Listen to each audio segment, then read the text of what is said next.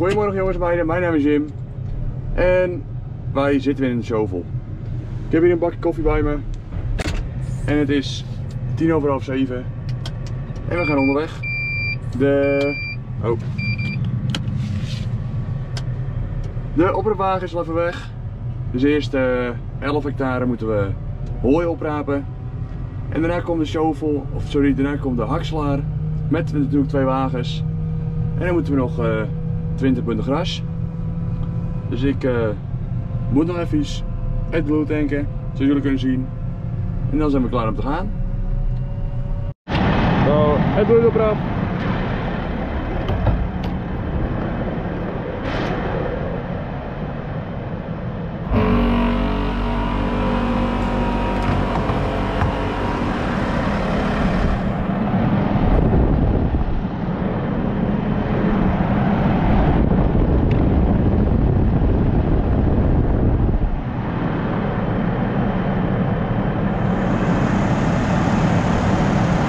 We hebben al diesel getankt vrijdagmiddag.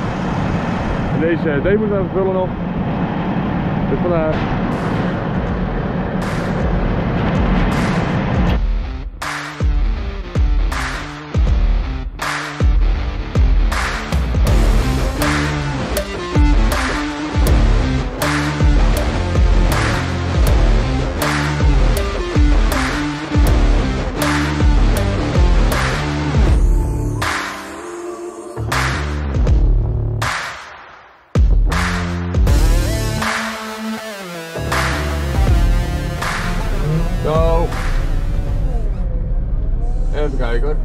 Uitkijken voor de fietsen natuurlijk.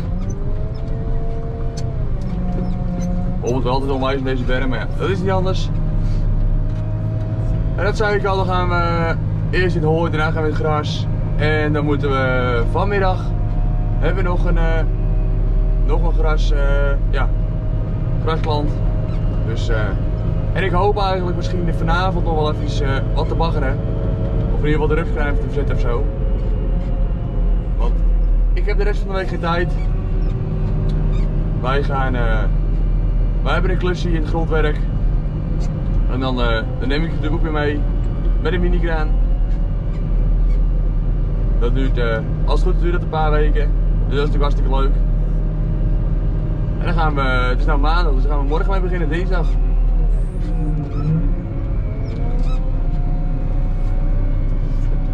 En ik zou natuurlijk af en toe een, uh, een paar vragen beantwoorden. Maar uh, ja, dat vergeet ik eigenlijk elke keer. In de video's. Meestal vergeet ik eigenlijk dan de vraag die jullie eigenlijk al stellen. Maar ik zag trouwens een vraag van jullie voorbij komen van uh, waarom onze bakken nou allemaal blauwe oren hadden.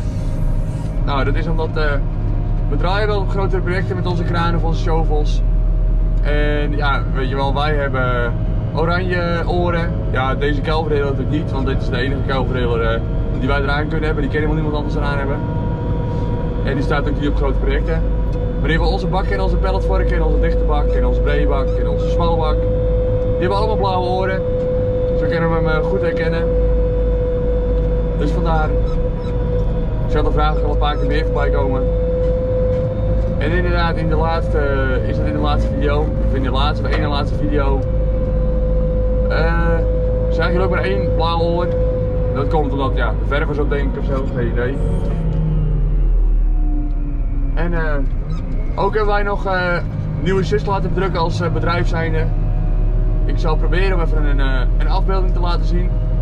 Er staat achterop trots op de boer. En voorop natuurlijk het, het Poland logo van ons woonbedrijf. Want ja, we zijn natuurlijk ook trots op de boer. Ik bedoel, zonder boeren hebben wij geen werk. Dus vandaar. Dus die dragen ook met trots. Ik heb hem vandaag ook aan. En uh, ja, dan zie ik jullie zo weer. Als we op de gauw rijden. Zo, en jongens, waar jullie kunnen zien. Uh, de eerste twee vrachten liggen er al.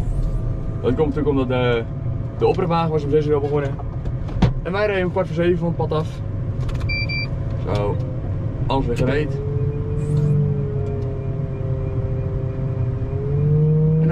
Kunnen we weer beginnen. Dit hooiige spul mooi onderop voor de, Net als in een paar video's terug. En ik heb straks het, uh, het iets vochtigere gras. Ik kan er mooi overheen.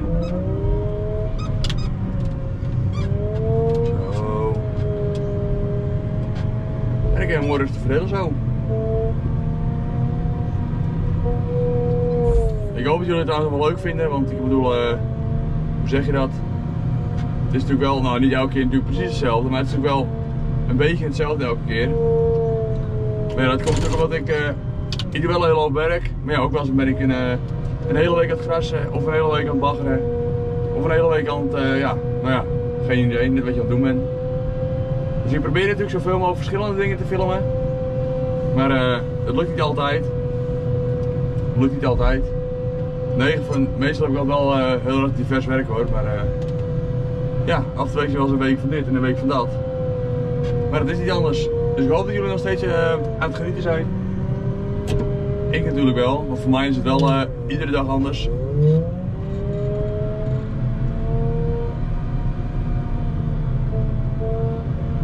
Kijk, in, uh, in hoofdlijn is natuurlijk al het werk hetzelfde. Of in ieder geval, meestal al het werk. Maar ik hoop dat jullie nog steeds aan het genieten zijn.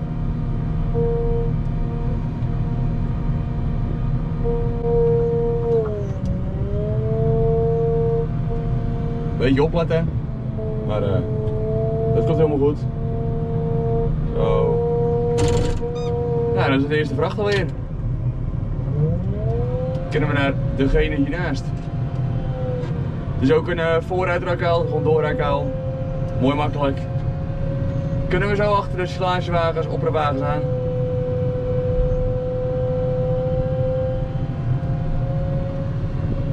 Natuurlijk machtig mooi. Je moet ook zo dat uh, plastic even goed hangen nog. Nou, daar een beetje veel uh, neergegooid en een beetje eroverheen. Maar dat doe ik zo nog advies. Oh.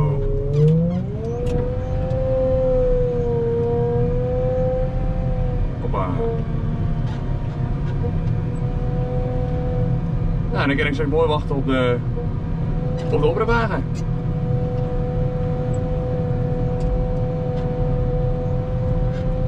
zal ook even vragen waar hij, uh, waar hij is straks. Kijk, die dag niet helemaal goed. Dus dat uh, ga ik eerst even goed hangen zo. En daar heb ik ook een hele bult in dus dat, uh, dat gooi ik bij de vorige eerst een klein beetje om mij natuurlijk.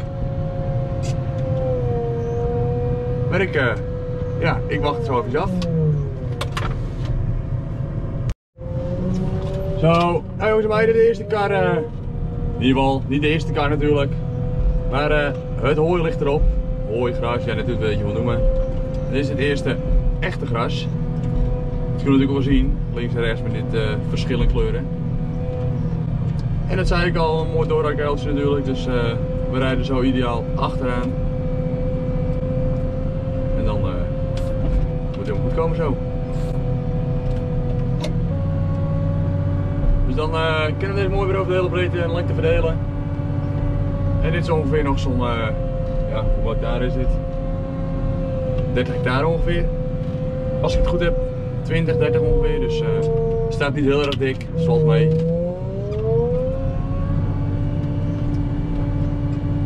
Oh. Hij heeft ook misschien iets te ver gelost, maar dan slaan we het weer een beetje terug. Dat maakt niet uit. Zo. Dit zei ik over de hele, lengte en de breedte. moet helemaal goed komen. Ik zei trouwens dat we gingen, misschien ook gingen baggeren, maar dat gaat niet door, want uh, we hebben deze 30 nog. En daarna hebben we nog 30, of in ieder geval hebben we deze, nou dit was voor mij meer dacht ik. Nou, maar we zien het in ieder geval wel. Maar in ieder geval, het wordt, uh, het wordt even later vandaag. Wordt even later vandaag, dus ik niet dat we aan, uh, aan het baggeren toe komen. Maar uh, dat is niet anders. Dat is niet anders. We gaan hier gewoon weer een filmpje van maken. Dat zei ik al, ik heb een hoop divers werk, maar af en toe, ja, weet je wel, ik heb ook al zo'n week op mijn gras, hè. Maar ik probeer natuurlijk zoveel mogelijk nieuwe dingen uit te leggen. Een beetje, te, ja, een beetje uit te leggen aan het natuurlijk. Zodat het even nog leuk blijft om naar te kijken. In ieder ik hoop dat jullie het nog steeds leuk vinden. Als je het leuk vindt, abonneer je op het kanaal. Het is gratis. Het is gratis, dus je, kan alleen maar, je hoeft alleen maar een knopje te drukken van abonneren en dan uh, je me zo volgen. Zou ik super tof vinden.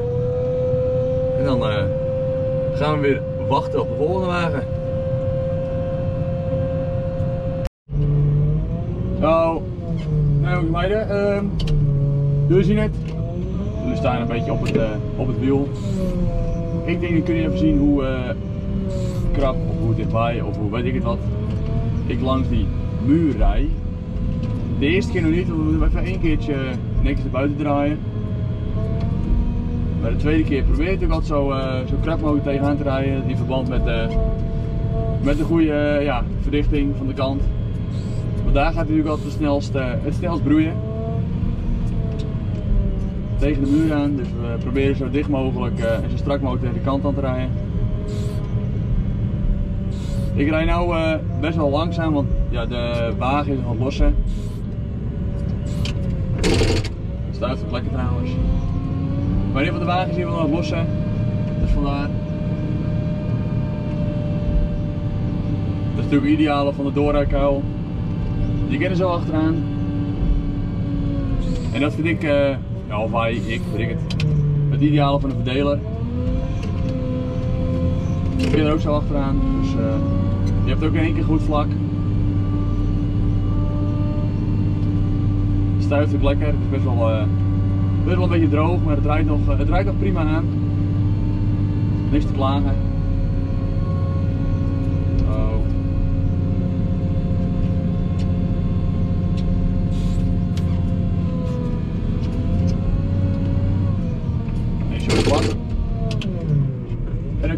En kunnen we hem uh, netjes aanrijden. We zitten ongeveer, uh, nou ja, we zitten over de helft heen. We moeten ongeveer nog een hectare of uh, 10. Dat is ook klaar. En dat is dan de, natuurlijk de eerste boer. Dan gaat natuurlijk daarna nog naar de volgende toe. Die hebben ook een doorrijkuil. We hebben er eigenlijk best wel een hele hoop in de buurt. Gewoon geen audio mee. Net als uh, net dat er een hele hoop uh, hier ook gewoon uh, silowanden hebben en zo, weet je wel. Heel rustig langs de kant zoals jullie kunnen zien. Daar rijd ik niet tegen de plastic aan, maar dat scheelt niet heel erg veel. En het is me natuurlijk wel eens gebeurd dat ik er tegenaan ben gereden. Maar dan melden we het even iets. En dan plakken we het meestal even dicht. Ja, dan we het eigenlijk altijd dicht. Want anders, dan, uh, anders komt er zuurstof bij. En dat ken ik natuurlijk niet.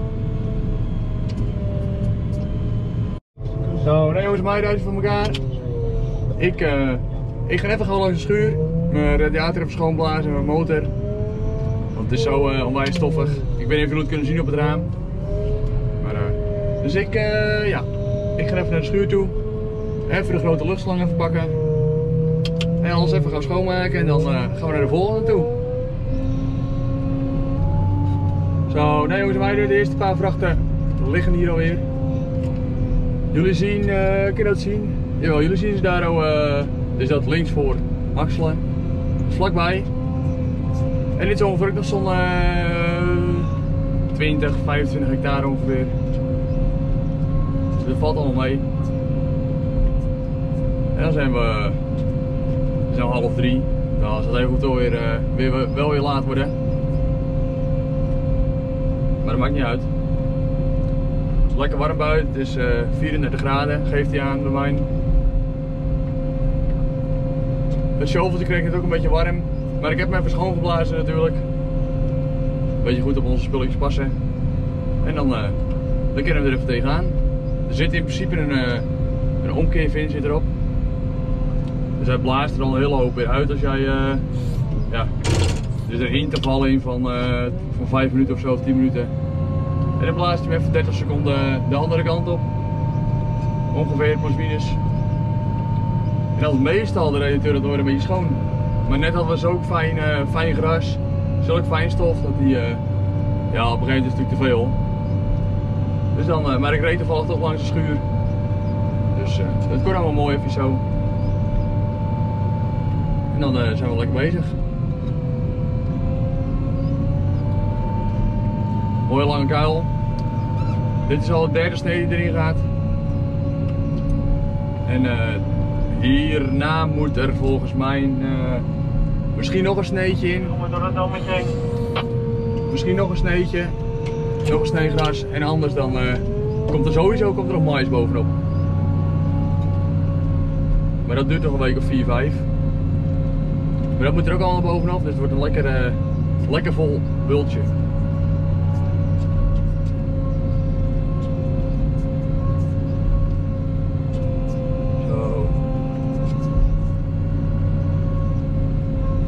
Echt een hele grote ziel dit hoor. Daarvoor jullie zien ook uh, ja, het automatische afdeksysteem natuurlijk. Op een karretje rijdt er dan langs en rolt hij zo het, uh, het plastic uit. Dan hoeven ze niet meer met, uh, met zandzakken in de weer of met banden of met grond. Dan rollen ze gewoon die er langs. Eerst folie, dan die er langs rollen. Dan vullen ze die met uh, zout water. Om te voorkomen dat het natuurlijk van de winter uh, bevriest. En dan ligt hij mooi, mooi aangedrukt. En wel.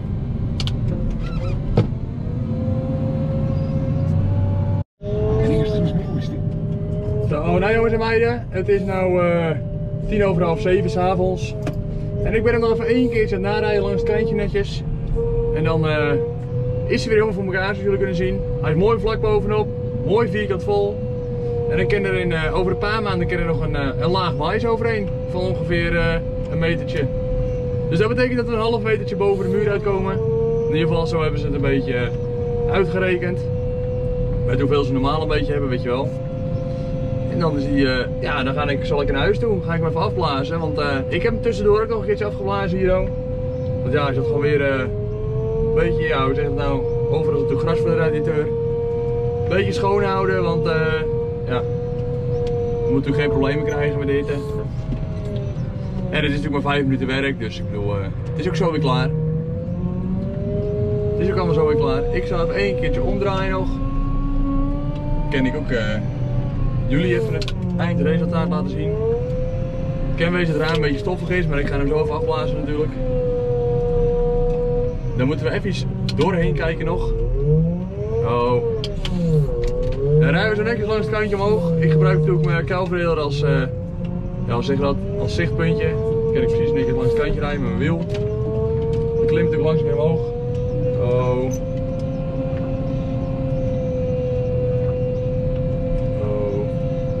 En dan zien jullie dat die bovenop heel netjes vlak is. Hoppa. Kanten goed aangereden natuurlijk. Hij heeft net zelf ook even met zijn trekker erbij gereden. Dus we rijden natuurlijk eh, netjes vooruit aan. De reden dat ik hem vooruit aanrijd is dat je dan het mooiste, eh, ja hoe zeg je dat? Dan kan je het op het kantje rijden. Dus dan uh, rijden we nog één keertje langs en dan gaan we lekker naar huis toe. Tanken, schoonblazen, zei ik al ja, en dan is de dag weer voorbij. Dus zou ik zeggen, mocht je het een leuke video vinden, geef natuurlijk zeker een duimpje omhoog. Vergeet ook niet te abonneren op mijn kanaal om op de hoogte te blijven. En dan wil ik heel graag tegen jullie zeggen, tot de volgende video.